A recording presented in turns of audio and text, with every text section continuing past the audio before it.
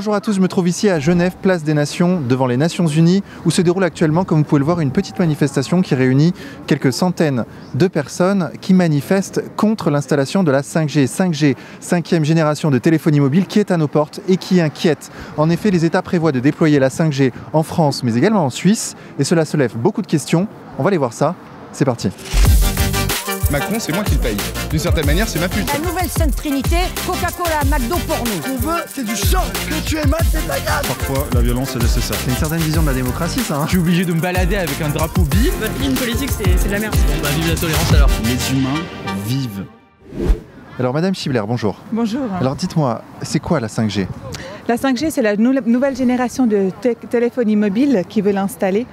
Mais c'est très différent de la 4G, 3G, 2G, ça s'accompagne du projet de connecter à peu près tout ce qui existe. Euh, avec la 5G, ils veulent avoir jusqu'à 1 million d'objets connectés par kilomètre carré. Ils veulent introduire des ondes millimétriques et ça, c'est une technologie complètement nouvelle. Donc nous, on est vraiment contre le fait de se faire complètement irradier euh, de tous les côtés. La 5G, c'est un protocole de communication de machine à machine qui permet d'accélérer la fréquence de la bande passante pour faire en sorte qu'il y ait plus d'informations plus rapidement. C'est bien si c'est plus rapide, mais il faut faire attention à comment on, prépare, on propage le message. Si on propage le message et que ça tue le vivant, ça n'est pas une bonne technologie. Puis les antennes 5G, c'est des antennes directives. Donc elles, elles vous pointent sur, euh, sur- vous, en fait, si vous êtes utilisateur 5G. Mais même si vous ne l'êtes pas, si par exemple euh, monsieur là-bas euh, est utilisateur 5G puis que l'antenne est là, vous avez traversé par le faisceau. D'accord? Donc même si vous ne voulez pas utiliser le 5G, il y a des faisceaux qui vont vous traverser de toutes parts. Donc ça, c'est l'autre problème, c'est-à-dire que dans le faisceau, vous aurez une intensité de malade. Ça tue le vivant. Quelle preuve apportez-vous à cette affirmation? Ça n'est pas à moi, grand public, d'affirmer que ça, que ça tue. C'est aux opérateurs ainsi qu'aux scientifiques d'affirmer que ça ne tue pas. C'est un dialogue de sourds, à eux de prendre leurs initiatives. Tant que moi, on ne m'aura pas dit ça ne tue pas, je n'en veux pas. ça peut provoquer des mutations d'ADN. Après, la cellule, elle essaye de réparer ça. Il y a des mécanismes autoréparateurs, mais voilà, ça marche ou ça marche pas. Du coup, après, on peut se retrouver en présence de cellules mutantes et ça peut dégénérer en cancer. Et euh, dans quelle proportion, euh, je veux dire, à quelle fréquence on peut avoir ce genre de symptômes et de. Alors, on a un biophysicien qui a fait des analyses là sur les, les signaux 5G. Il a vu, je- de mémoire, hein, je crois, il avait huit euh, cassures d'ADN présentes sur euh, un million, je crois. Donc on peut se dire c'est pas beaucoup, mais bon c'est quand même euh, c'est un risque. C'est comme la cigarette. Vous me dites que vous fumez, je vous dis bon ben statistiquement vous ça vous multipliez par 40 vos chances d'avoir un cancer. Après ça veut pas dire que vous allez en avoir un, parce que le cancer c'est multifactoriel, ça dépend du terrain, enfin il y a beaucoup de il y a beaucoup de paramètres quoi. Si on augmente la fréquence et si on augmente la puissance, alors il y aura de plus en plus de machines qui pourront se parler. Mais c'est très dangereux. Pourquoi est-ce qu'on augmenterait la puissance des antennes? On va s'irradier. Pourquoi est-ce qu'on augmente la fréquence du message? On va altérer notre métabolisme et on va casser notre, ADN. Parce que ce sont des petits messages qui nous traversent. Personne ne réalise ceci. Il ne faut pas se faire traverser par des messages sans le vouloir. Ok, donc toujours dans notre démarche d'aller voir tous les points de vue, on va interroger maintenant Sébastien Point, qui est un physicien scientifique spécialiste des ondes électromagnétiques et qui est un grand critique des discours anti-ondes. On va l'appeler tout de suite. C'est parti. Je ne vous cache pas que la 5G suscite beaucoup d'inquiétudes, et notamment, donc on va commencer par la première d'entre elles, à savoir l'impact sur la santé. Est-ce que, euh, selon vous, la 5G va, euh, par sa puissance, casser l'ADN, avoir des effets euh, néfastes, augmenter le nombre de cancers qu'on observera dans la population? Alors, rien de tout cela.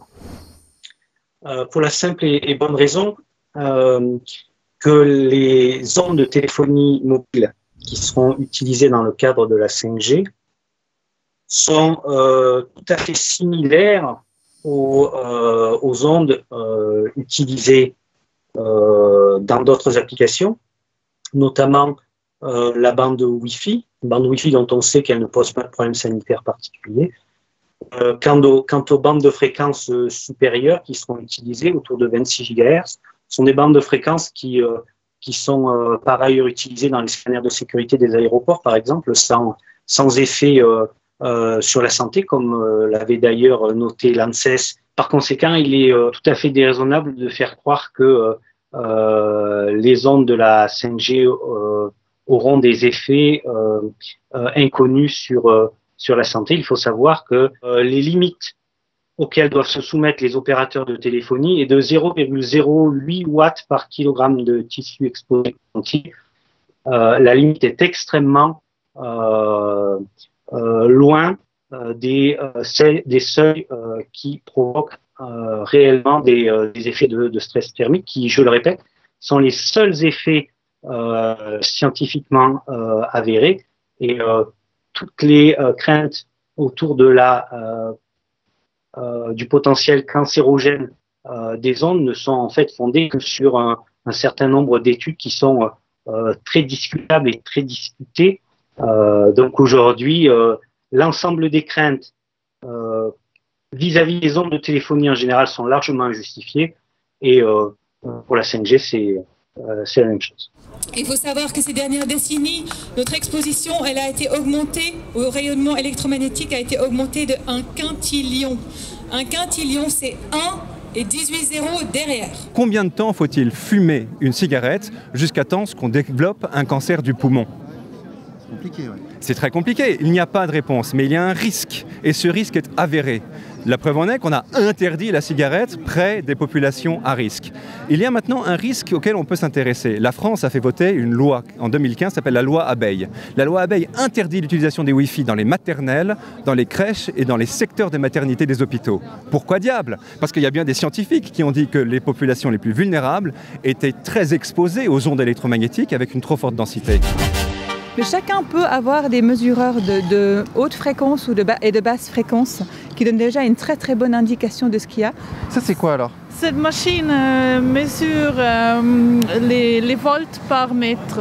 On a bien euh, une volt et ça fait déjà beaucoup. Et à 6 c'est pas bon? Non c'est pas du tout bon. Mais donc là ça va? Ouais c'est rouge. Non non. ça ne va pas. Pourquoi? C'est déjà beaucoup, c'est trop.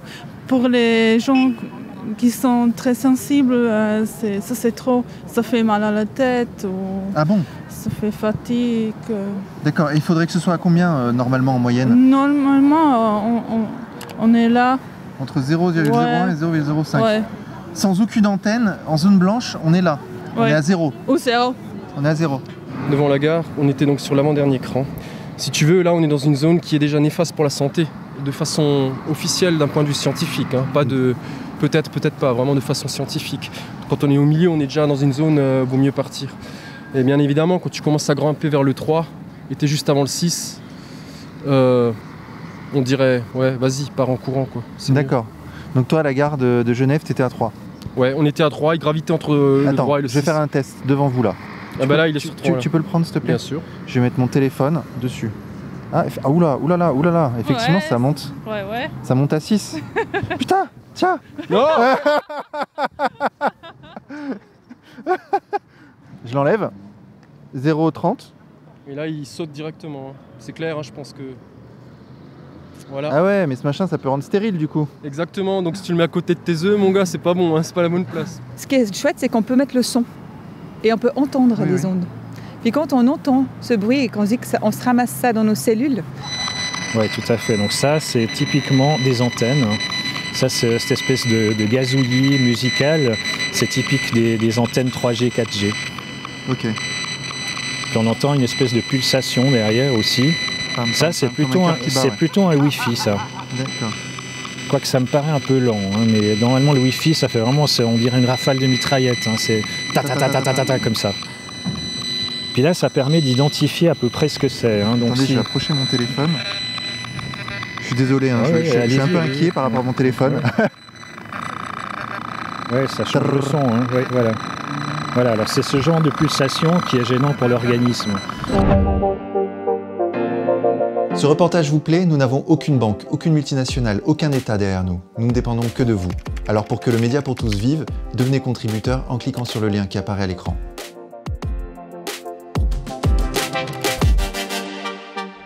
Au cours de cette manifestation, plusieurs personnes m'ont montré une machine qui mesure les volts par mètre.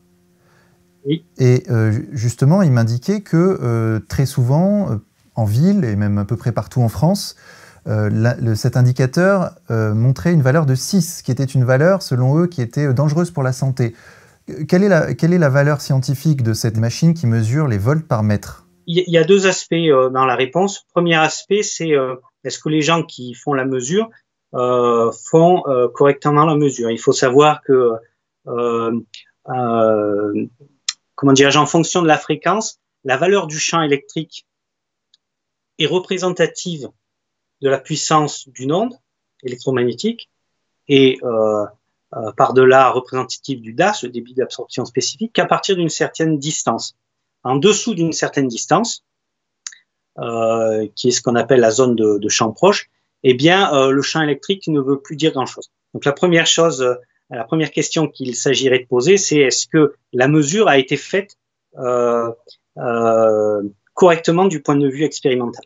Dans l'hypothèse où, la mesure aurait été correctement faite, euh, 6 volts par mètre, ça reste très. Alors c'est un point qui va être considéré par atypique par des instances comme l'Agence nationale des fréquences, parce qu'il est au-dessus du seuil ou plutôt du niveau moyen d'exposition en France, qui est autour du volt par mètre, mais ça reste très largement en dessous de la limite acceptée pour éviter les, effets thermiques, qui est à 61 volts par mètre dans la gamme de fréquences euh, de la téléphonie mobile.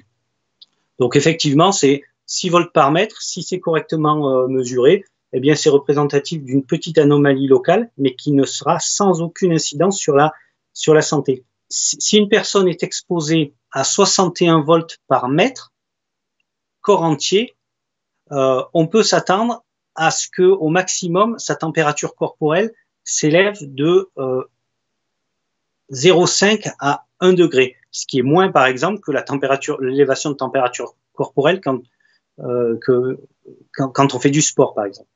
Euh, et là, on est 10 fois en dessous. Donc, euh, euh vous voyez, euh, euh, l'élévation de température qui serait liée à une exposition à 6 volts par mètre ne serait euh, quasiment pas mesurable et sans effet, bien entendu, sur la santé. Et pourtant, des, des institutions comme par exemple l'AEEM, donc l'Académie de médecine environnementale européenne ou le Conseil de l'Europe, euh, préconisent un niveau euh, de volt par mètre qui, est, qui serait inférieur à 0,06. Qu'est-ce que vous en pensez, vous de ces préconisations Alors, prudentes? Elles sont prudentes. Surtout que le Conseil de l'Europe, ça n'est pas une institution officielle européenne. Euh, sont des associations qui réunissent euh, euh, comme ils ont le droit des, des, des, personnes qui souhaitent diminuer d'office les, les valeurs d'exposition. que dire? Il n'y a pas aujourd'hui de preuves scientifiques démontrant la nécessité de diminuer les valeurs d'exposition, les valeurs limites d'exposition, euh, qui sont elles-mêmes euh, très protectrice. C'est-à-dire que vous allez rajouter de la protection à la protection euh, de manière tout à fait euh, superficielle et sans, euh, sans intérêt pour la santé, sinon à diminuer la qualité de fonctionnelle des, des antennes relais et baisser la qualité de, de, de, service.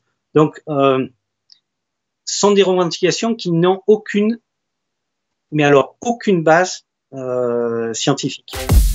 Vous voyez le Wi-Fi, vous dites le Wi-Fi, euh, l'Europe AEM l'a évalué comme très toxique, justement à cause, entre autres, de ce qu'on appelle le signal de balise. C'est ce qu'on entend justement avec euh, l'appareil, là.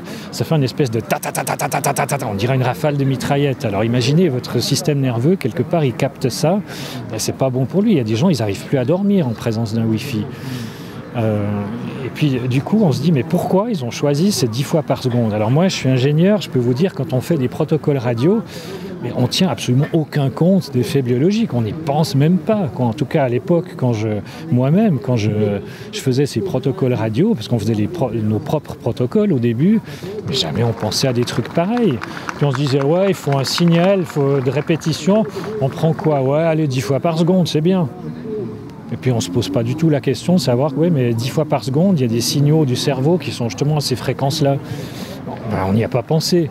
On n'a pas fait exprès de mettre 10 fois par seconde. Donc euh, sur le corps humain, les effets qui ont été observés sur la santé jusqu'ici des ondes électromagnétiques, ça sera le cancer, modification de l'ADN, troubles de l'attention, anxiété, dépression, euh, qu'est-ce qu'il y aurait encore? Acouphènes. Ça, c'est vraiment quelques exemples parmi d'autres. Mais, mais à long terme, c'est pas, on n'est pas irradié immédiatement. Avec, la 5G millimétrique, c'est qui sont des ondes de 24 à 60 GHz, on n'en sait rien. C'est vraiment nouveau. Actuellement, les ondes qui sont déployées sont en dessous de 6 GHz. Donc c'est vraiment une technologie complètement nouvelle. Les ondes de la 5G, comme elles sont euh, légèrement plus hautes en fréquence, eh bien, elles vont euh, pénétrer encore moins profondément dans le corps humain. Vous savez qu'une onde électromagnétique euh, pénètre dans le corps humain, traverse le corps humain. C'est le cas des ondes de radiodiffusion, de télédiffusion depuis euh, 50, 70 ans.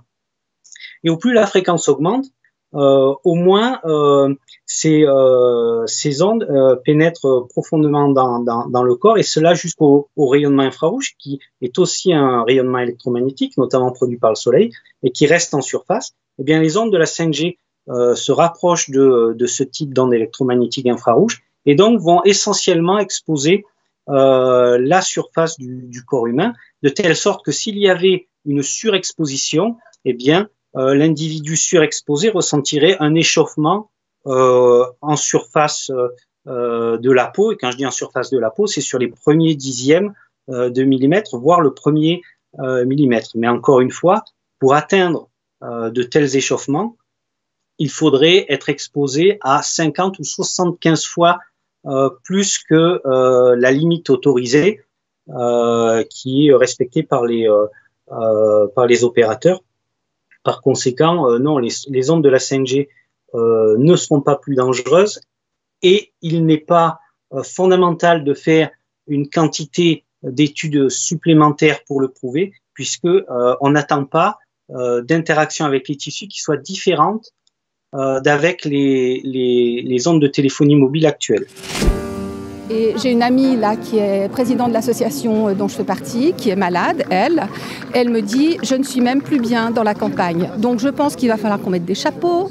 Enfin, des tenues, on est, des oui, tenues des de- tenues de... protection. Ça existe déjà. Vous- si vous tapez sur euh, Internet, euh, protection ondes, vêtements, vous avez maintenant des boutiques qui vendent euh, des petits chapeaux, des. C'est un bel avenir qui se dessine devant nous. Bah voilà.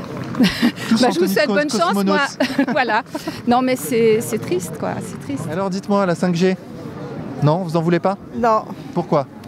Parce que la 4G est déjà assez difficile à supporter, donc on veut pas la 5. D'accord.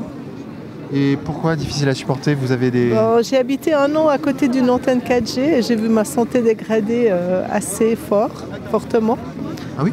Oui, j'ai eu des maux de tête, j'ai des problèmes de tachycardie, je dors pas la nuit, des problèmes de concentration. Et quand j'ai quitté cet endroit merveilleux, eh ben, j'allais mieux. C'est vrai? Ouais, je vois vraiment la différence. Et puis euh, depuis quelques mois, je pense qu'il y a des antennes 5G qui doivent être en fonction à Genève et je dors un peu moins bien de nouveau.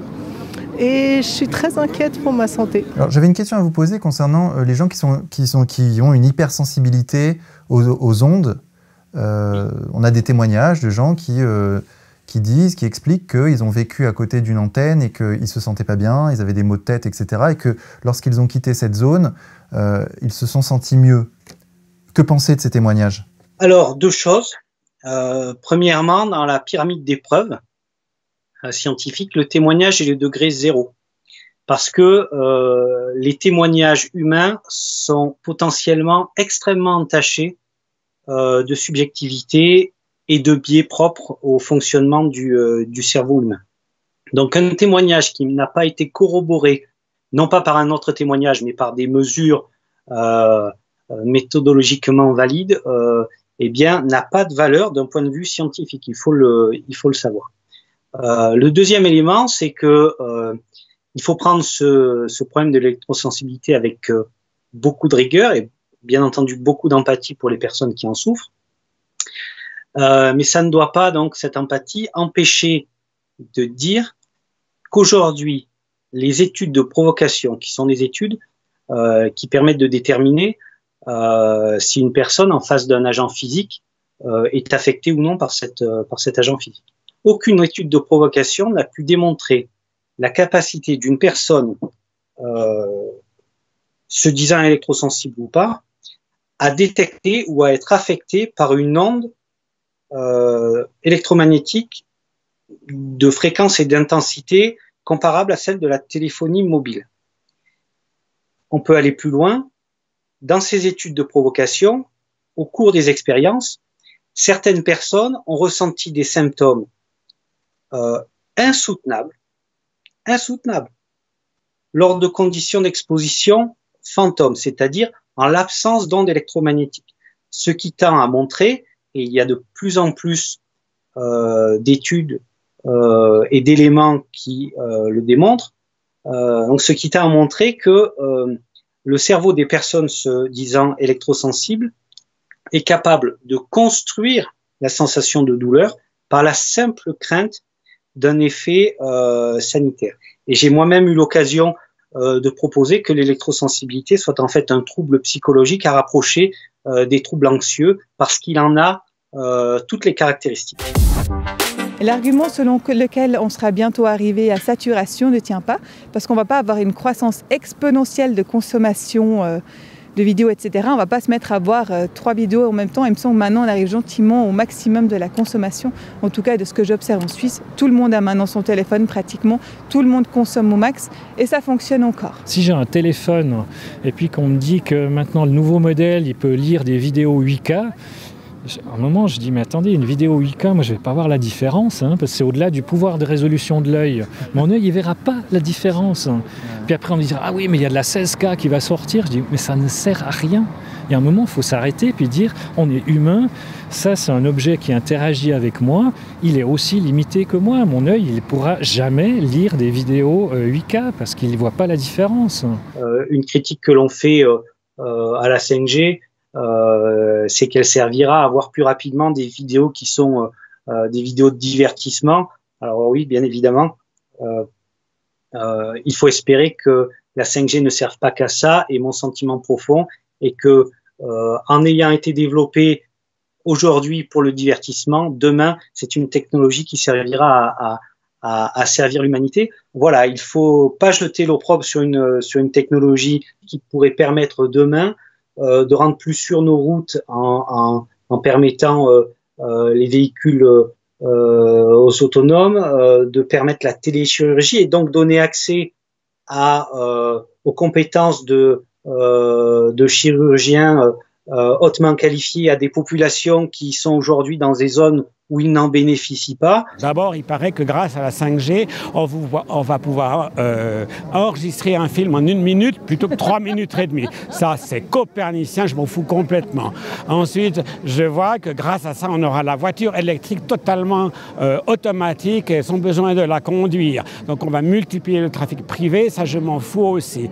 J'apprends aussi qu'on aura à peu près 15 milliards d'objets connectés, le frigo, la brosse à dents, etc. Je n'y tiens pas non plus, parce qu'il y a un aspect là derrière qui s'appelle la surveillance policière et qui est extrêmement dangereux. Et je n'ai aucune confiance, entre autres, dans les assurances qui vont nous bouffer notre liberté, nous surveiller avec le sourire et la gentillesse, et on en verra aussi le résultat. Et ensuite, quand on est dans une société qui consomme trop, nous devons toujours prendre des décisions qui vont en faveur de, de moins de consommation. Or, la 5G, elle va relancer un cycle de production, de, de rénovation de machines et autres dont on a nullement besoin. Un peu de sobriété avant tout, et déjà pour ça, je suis contre la 5G. La 5G, et c'est une bonne chose, sera déployée en France euh, dans, les, dans les prochaines années.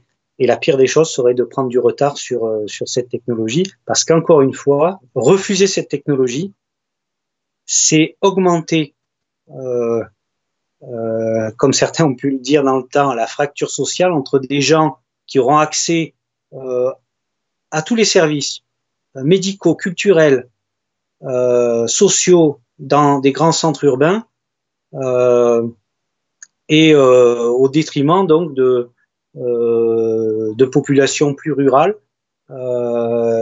qui sont toujours plus éloignées des services publics, toujours plus éloignées des services culturels et des services médicaux et la 5G pourrait être un, euh, euh, une vraie aide pour euh, euh, pour ces populations-là dans ce contexte. Parce qu'avec la 5G, le risque, après, je vais, aller- je vais acheter une lampe de chevet, elle sera connectée 5G pour que je puisse la télécommander depuis mon, depuis mon lit avec mon portable. En fait, les portables, c'est une espèce de prothèse qu'on a sur soi tout le temps. On estime qu'elle est tout le temps là. Puis du coup, on l'utilise pour télécommander ci, télécommander ça. Moi, je fais des mesures des fois chez des gens. Puis je leur dis, mais là, j'ai une intensité. Qu'est-ce qui se passe? Euh, euh, Pourquoi? Puis ils me disent, ah oui, mais c'est la lampe Bluetooth qui est là-haut. J'ai dit, mais non, vous avez une lampe Bluetooth? J'ai dit, ouais, ouais, comme ça, on n'a pas besoin de se lever pour aller l'éteindre.